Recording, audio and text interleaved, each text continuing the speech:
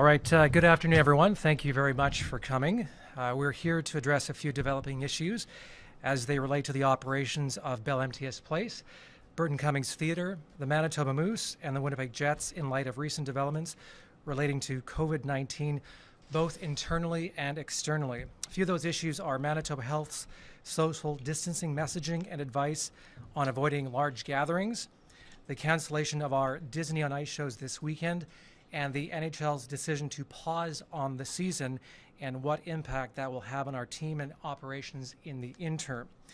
Please keep in mind, uh, we're dealing with these issues in real time just like you're covering them, and we'll do our best to share what we know, but more information will be forthcoming in the days ahead. Kevin Donnelly, Senior VP of Venues and Entertainment, will speak to the first couple of points. Mark Chipman, Executive Chairman, will speak to the third. Both Kevin and Mark will open with statements before taking questions from the media. So with that, let's get started with Kevin Donnelly. Thank you, Rob.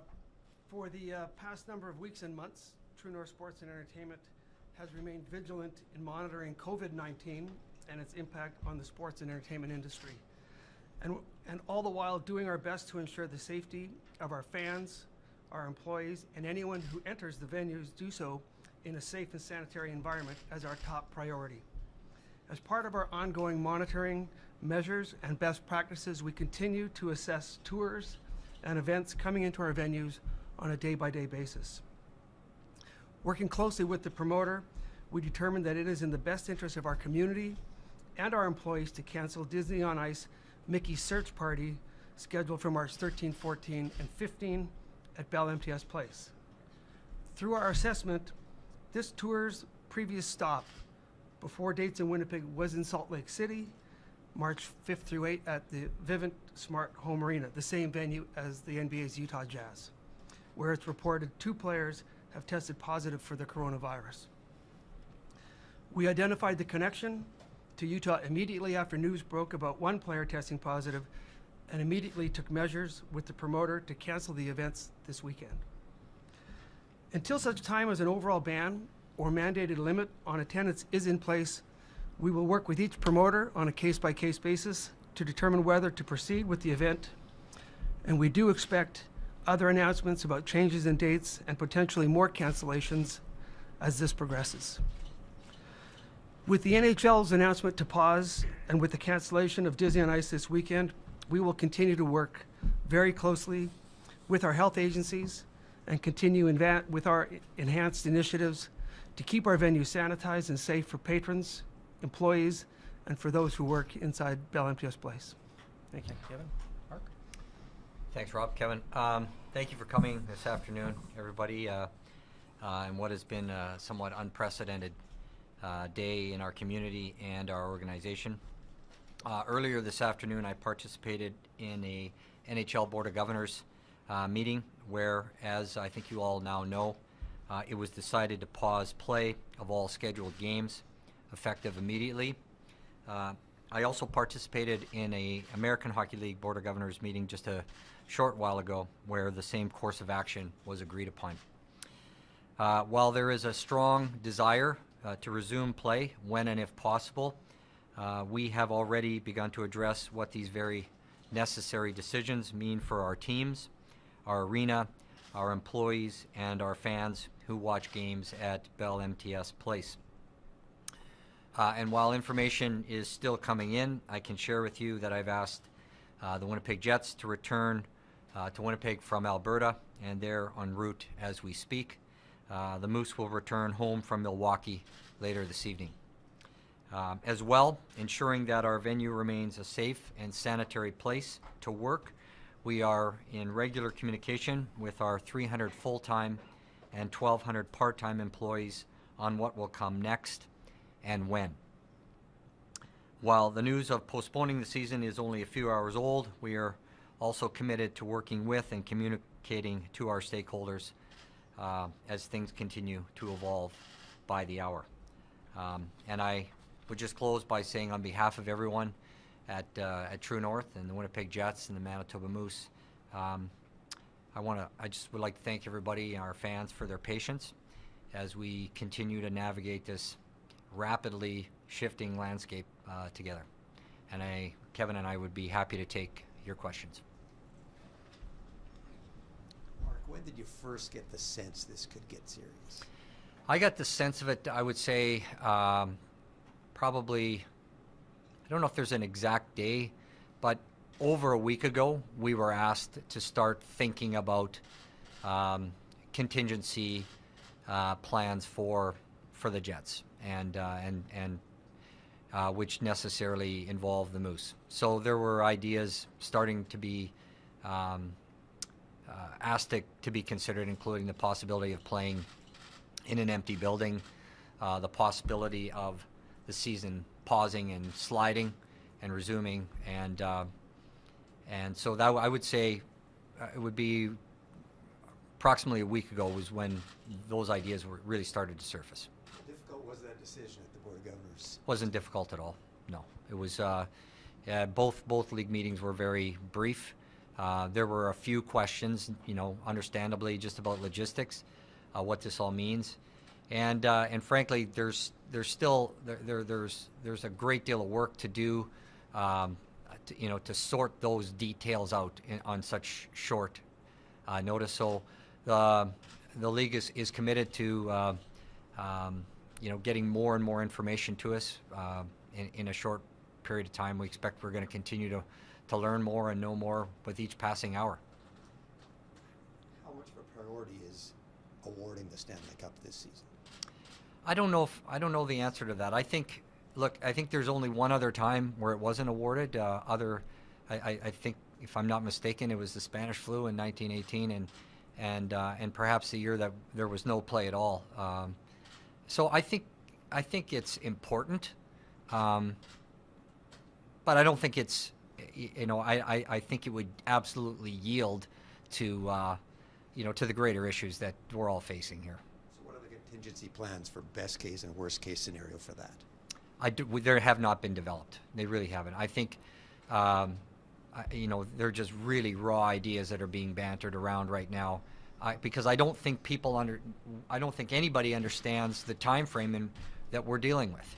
So it's really very difficult to speculate on, you know, whether it'll be an abbreviated season or what a playoff format would look like.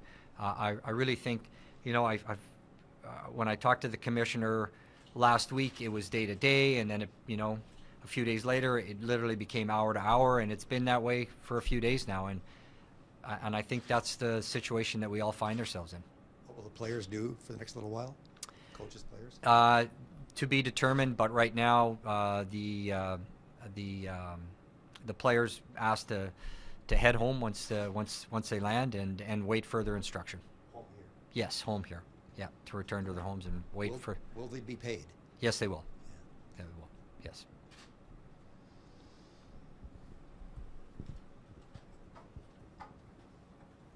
So what is the process for like the case by case basis um, with judging what concerts or other events are coming to Bell MTS Place in the next little while? I think, you know, predominantly it, it's uh, who the audience might be. The warnings have been really specific for over the age of 65, so that becomes a, uh, one of the initial factors we look at. Um, you know, the case with the Disney on Ice show and their and their connection to Utah sort of brought that to the forefront, and, and the immediacy the show was starting this week. Um, so we will look at e- each of those factors, and the factors, you know, quite honestly, change every day. Uh, today's been quite remarkable. The Junos were canceled. Live Nation, the world's largest promoter, suspended a bunch of tours, and the NHL uh, took a pause. So it's been a remarkable day for public assembly events in general.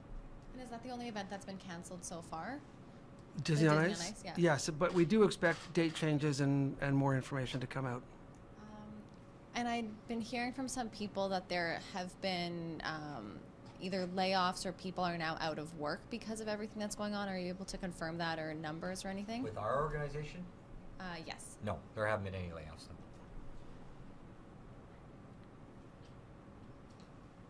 No. Um, yeah, so just looking at this and appreciating that this is all being done hour by hour, to potentially lose uh, five Jets home games, to lose Disney, to potentially lose other events, you're in the business of assembling large crowds here. Do you have any idea what this could do to the bottom line for True North? Not yet. No, I mean we've got. Um, I think we've got four home, ga- home games left. Um, it's it's uh, um, I hate to I hate to use the excuse, but I think it's just too early to to tell uh, whether we're in a postponement or a cancellation. Our um, scenario are two very different uh, outcomes. So um, we'll start modeling that now. And we you know we did some preliminary looking at it a week ago and what this might all look like. Suffice it to say, if uh, you know I. Um, you know, if we're if we're not able to re- return to play, the the outcome would be significant. Um, can't put a number on it though. And just just on the question uh, regarding uh, layoffs, um, I guess there's two types of employees here, right? There's the full-time staff at True North, then there would be the people, the, the concessionaires, that sort of thing. Um, where do those people stand? So those people are on part-time agreements, and they're, uh, you know, they, they work when we when we work, and uh, so um, regrettably, to to the extent that we're not uh, um, putting on shows and games, uh, those people obviously would not have uh, a call to work. A- And with a postponement, it is different than a cancellation, you know, uh, hoping that we get, we can move as many events into a post postponement, so that work is just delayed, but it would still be coming. I mean, if we can move an event from a date in March to a date in August, then the work still occurs. Just on sliding events, the last question. How, I guess, Kevin, this is you. How difficult is that potentially if you have to, you know, you have concerts that are supposed to be coming through here, potentially moving the AHL season forward, moving the NHL season forward, potentially hockey playoffs beyond June? I, I mean, how difficult does that get to be for scheduling the building, and do you potentially have to make hard choices? Uh, it's a Her- Herculean task. I mean, the, for the league scheduling, that that'll be a massive undertaking for them to do in a very short period of time. Uh, each each event, each tour is done by a separate group of people, so that work gets managed. But it is it is absolutely uh, a huge task to try to coordinate every venue with every team and and the, the, the mix of events that is planned, either pre-existing plans or things that are getting shifted into a new time period. That's a major undertaking. I would say, just to follow up on that, the good news is that we're kind of all in this uh, together in terms of venues. You know, the, those promoters are still going to want to put those shows on. The leagues want to play these games. So um, I think there's a uh, there's a likelihood that, as difficult as it will be logistically, there there's there's going to be a willingness for everybody involved to to reschedule whatever what what otherwise was going to perform. Mark, from a hockey side, have any of your players or any of your personnel shown any uh, illness at all, or is there any risk about anyone having to be quarantined or isolated? Not, not, no, there has not. I mean, there's been some flu go through the the team, um, and uh, you know, but nothing that uh, I would, you know, that that appears to have been, or um, and and frankly, it, it was quite some time ago. Um, uh, so no, we're not aware of anybody in in our group uh, that uh, is showing any symptoms right now, um, and. Uh, so I guess you know that all remains to be seen, but uh, so far so good. Mark, your club has been on a bit of a roll, obviously, lately, and you're, you know, you're pushing for a playoff spot. But reality is, is that this is a, a social issue, a community issue. And when did you guys?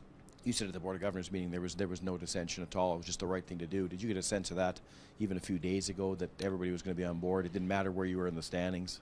Yeah, I, I you know I d- haven't spoken to a lot of my colleagues, but the ones I did uh, pretty much shared the same views. You know, I, mean we were in communication with Edmonton last night uh, during the game, and um, you know it was more just you know questioning uh, or wondering what was going to go down, and and uh, they were clearly of the same same mind. You know that. Uh, um, you know, and I, I, as you point out, I mean, I'm really proud of the way our team's played this year.